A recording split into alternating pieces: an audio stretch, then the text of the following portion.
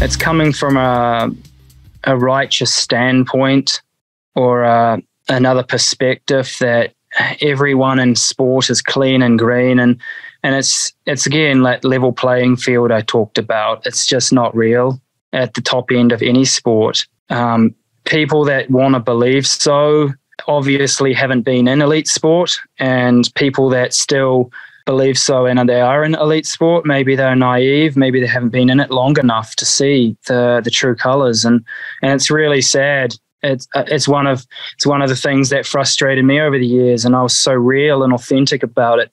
Even when I spoke out in the Rio Olympics and um, with everyone who I've ever come in contact with, just one on one or personally over here, um, I think that's why I've had so many people re- reach out to me and say that um, they they really feel for me in my position right now, and um, they're sorry I had to go through it. Um, I'm not looking for sympathy. I know I know what I did was wrong. I'm just trying to tell my story once again, and and and try to make people understand that there are angles to this, and I, I came at it in the wrong way.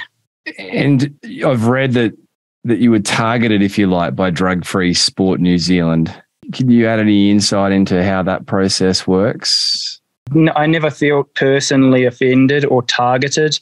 I some some of the some of the frustrating situations when I missed a test and it was not my fault, such as the case when once I reported to Drug Free Sport New Zealand that I was in New York. These were my flights. This is my hotel.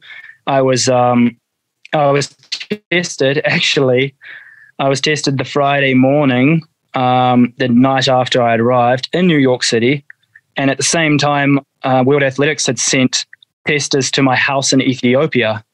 So they, you know, missed tests like this, they they occurred, and it was ridiculous because it was the same day, the same almost the same time, but the the communication just broke down. And like I said, I never felt personally attacked or targeted anyone who performs good gets tested, but I think Drug Free Sport New Zealand take their testing regime to a next level that again isn't a level playing field because the rest of the world don't do that. Um, I've been tested over 50 times in my career, out of competition, before competition, even the nights before competition, sometimes taking blood um, ruining my sleep at 9, 10 p.m. at night sometimes.